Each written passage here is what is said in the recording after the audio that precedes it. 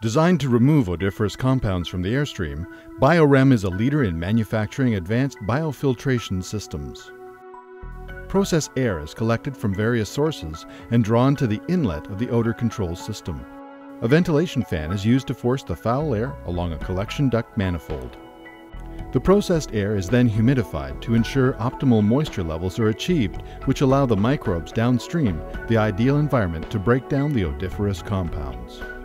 The humidified air is then directed via force draft to the inlet plenum of the biofilter system. The air entering the top section of the bed becomes pressurized and is equally distributed across the surface. Microorganisms which reside on the surface of the media use the pollutants as a food source, thereby destroying the odoriferous compounds and producing no harmful byproducts, which typically consist of carbon dioxide and water vapor.